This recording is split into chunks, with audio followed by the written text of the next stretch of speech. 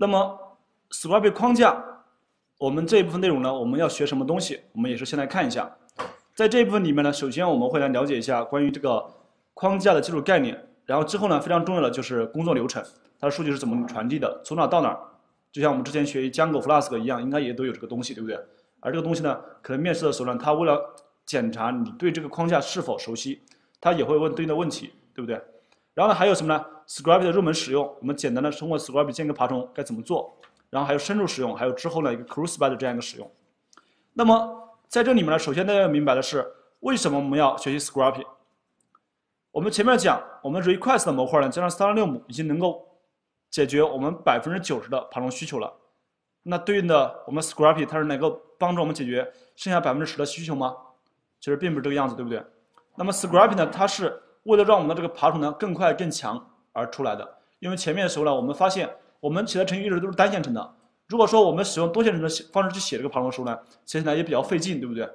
所以说现在呢有这样一个框架来解决我们前面写爬虫速度太慢或抓取抓取效率太低的这样一个问题。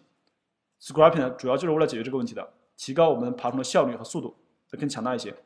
那么到底什么是 Script 呢？Script 它就是一个。抓取网站数据、提取结构性数据的这样一个框架。那抓取网站数据、及结构性数据这个词语呢，应该是非常简单和好懂的，对吧？那么框架又是什么意思呢？前面讲 request 是个模块，script 是个框架。那到底什么是框架？什么是模块？框架和模块对应的它们的区别是什么呢？框区别是什么呀？什么是框架？什么是模块？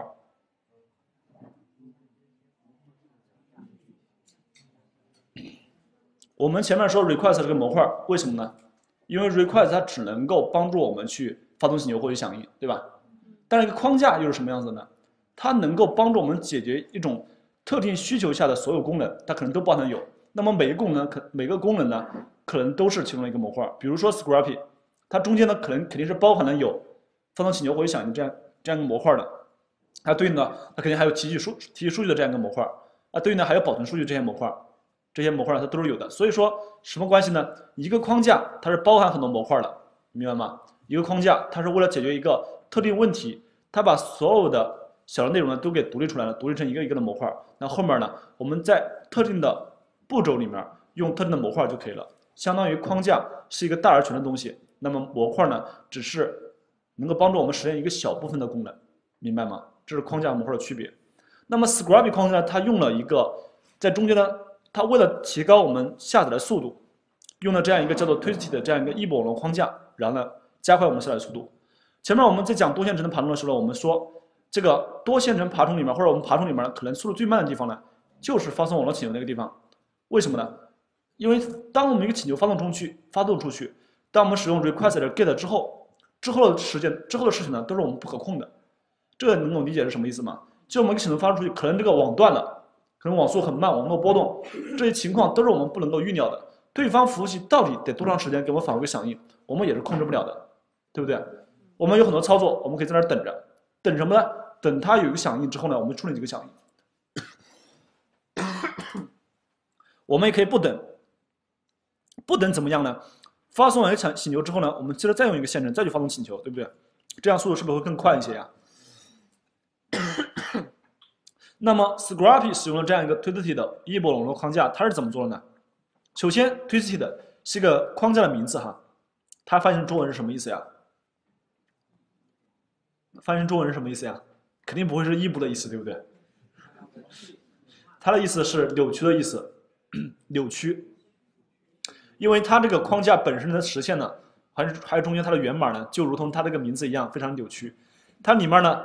用了很多很多的回调，比如说一个函数，它的结构交给 A 处理，那么 A 的结构交给 B 处理，B 的结构交给 C 处理，可能我们还没有真正跑这个程序，我们就提前预预定好这个结果中间要经过多少个回调，做什么样的操作，所以看起来它的源码是非常非常的难难难看的，或者说不直观的，但是没有关系，因为后面在 Scraping 里面呢，我们可能它在 Scraping 里面调用 Twisted 的内容的时候呢，我们它封装的比较好，所以我们看起来呢不会去。太多的遇到 Twisted 的相关的内容，然后还有另外一个词语是什么呢？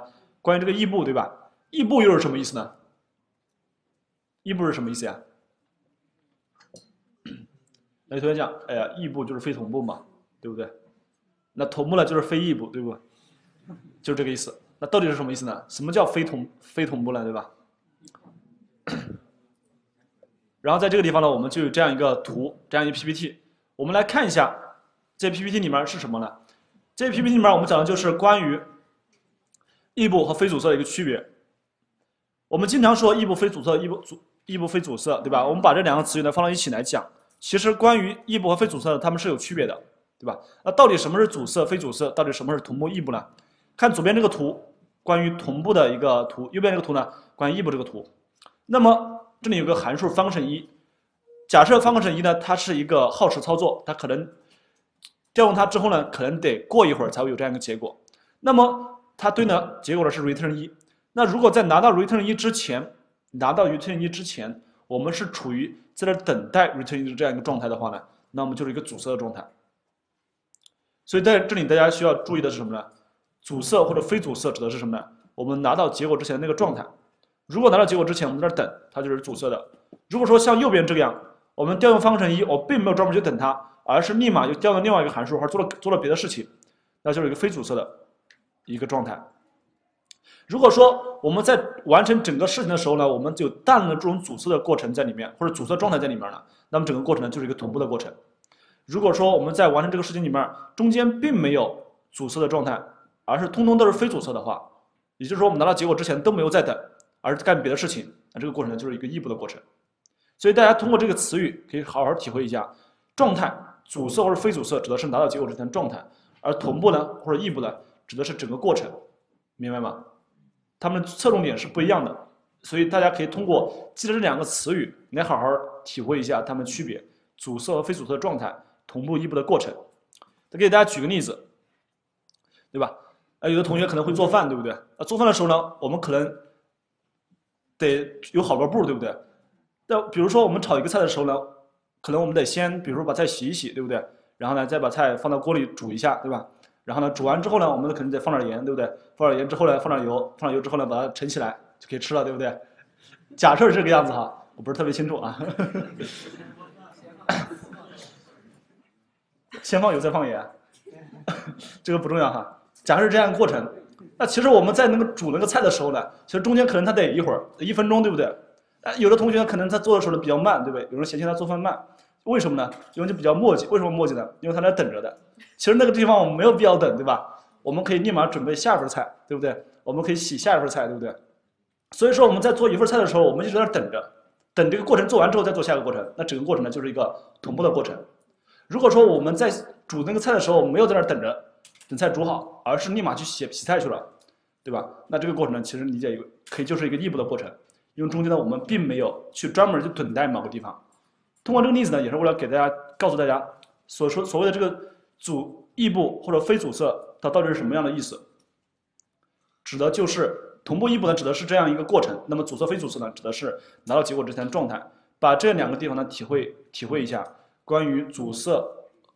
或者非阻塞、异步和同步，它们之间的区别呢，就可以区别的非常明显。那待会儿呢，这里下面呢，我也放了有这样一个文字，这个文字呢，可能大家看的不是特别的形象，但是没有关系。那记住我刚刚给大家讲的，指的状态，一个是指的过程就可以了，就是它们之间一个区别。那么刚刚给大家讲的呢，是相当于我们简单的介绍了一下这样一个 Scrapping 里面的概念，以及补充了一点讲了异步和非阻塞它们的区别。